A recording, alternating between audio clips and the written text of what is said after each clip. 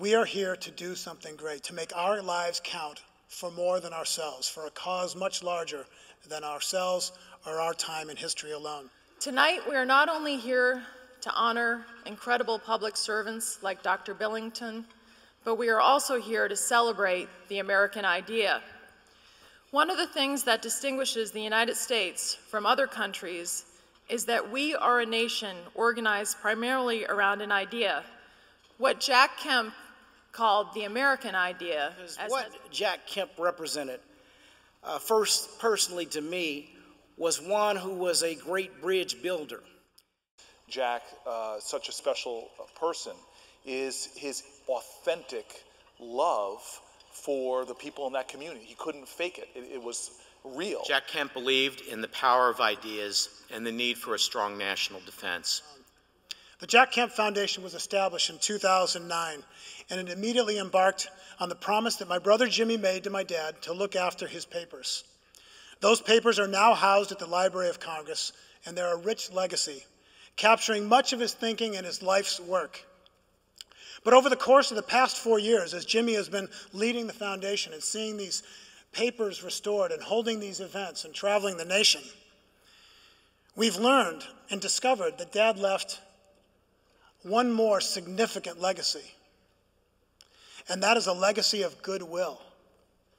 Uh, and the Kemp Foundation's mission of preserving and expanding principles of growth, freedom, democracy, and hope could not be more important as we look toward the opportunities we have, not only in this new Congress, but also thinking about the strength of America that uh, it was important for the Republican Party to have ideas that worked for inner city African Americans and Latinos. So at that point, I was sold. I started ordering his speeches uh, to be sent to my house, following him closely, um, uh, really growing as a person. And he was one of those people, as I credited in that some memoriam I wrote for him uh, when he passed, uh, as one of those people that contributed to making me really be an American far before I'm a Democrat. Senator Scott, can you reflect on what does it mean to you that an African American Democrat and an African American Republican can both be inspired by the Kemp legacy?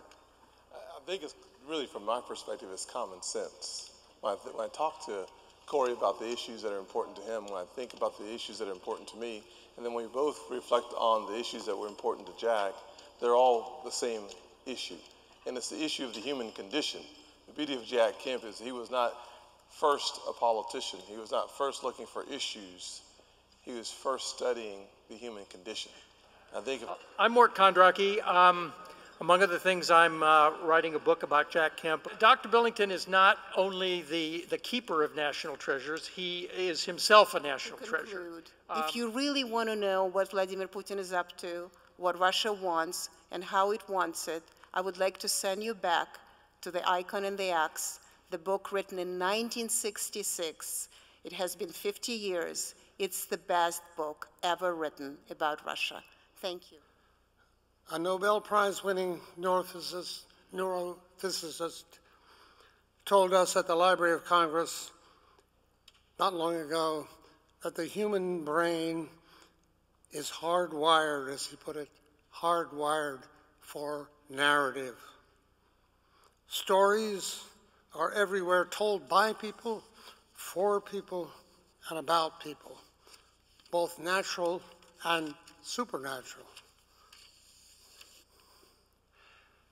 Affection for our own American story need not and does not impede us from enjoying and learning from the stories of others.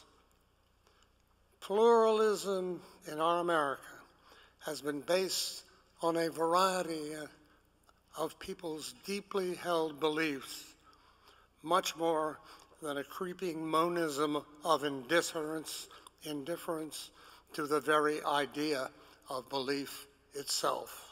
So I have an incurable optimism about the future of America, despite our present discontents. Um, but no, honestly, I, I think if we start the year on a good footing, if we start the year on the right tone, then I think there are a lot of good things that can get done. And I think on top of that would be tax reform.